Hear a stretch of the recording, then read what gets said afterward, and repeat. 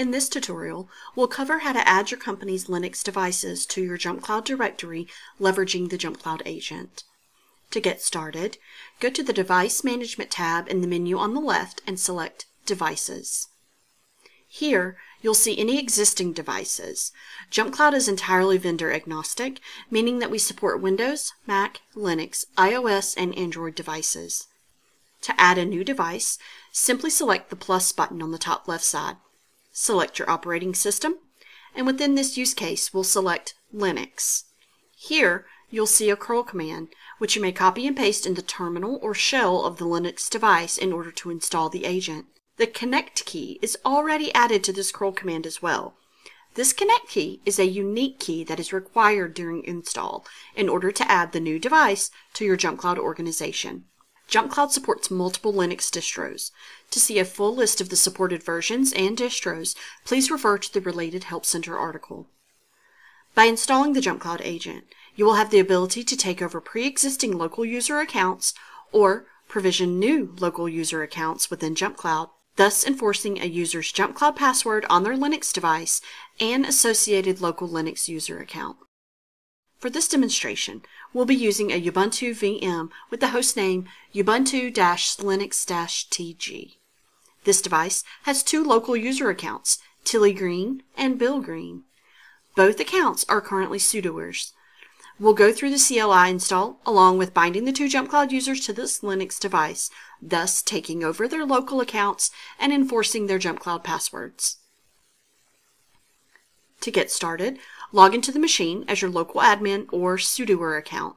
You can directly log in on the device, access via KVM or via SSH. In this example, we're going to install the agent and add the Linux device via the terminal. Once logged in as your sudoer account on the Linux device, you can copy and paste the command from JumpCloud into the terminal session. This will install the agent and begin adding the device as a JumpCloud managed Linux device within your JumpCloud organization. This process can take up to two minutes. Once the device appears within JumpCloud, the agent reaches out to JumpCloud for any updates in a 60 second cadence, meaning that any change to the device, policies, commands, or bound user associations will be automatically updated within 60 seconds. The device, Ubuntu Linux TG, has been successfully added.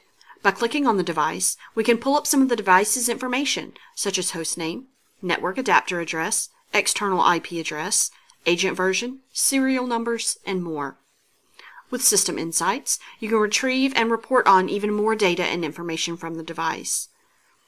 To take over the pre-existing local accounts for Tilly and Bill, bind their JumpCloud user accounts to this device. Simply click on the device from the list, navigate to the Users tab, and bind the JumpCloud users by checking the checkbox next to their account.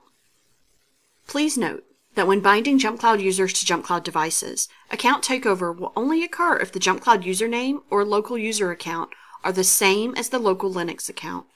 Otherwise, a new local Linux account is provisioned on the device. Before account takeover can fully occur on the Linux device, the JumpCloud user accounts must be in an active user status. You can also promote or demote a user's privileges as well during this process. Since Bill is currently a sudoer on his Linux device, we're going to demote him to a standard local user with no admin rights. Finally, save the configurations by clicking the Save Device button. Both Tilly and Bill's user accounts are now using their JumpCloud credentials to access this Linux device. To learn more about adding Linux devices, check out our Help Center articles.